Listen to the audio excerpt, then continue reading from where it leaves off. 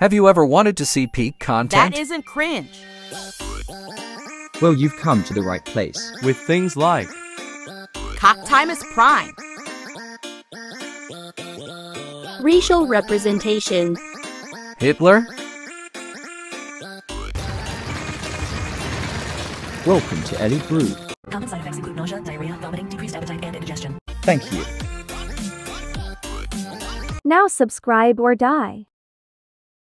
I'm waiting. Do it.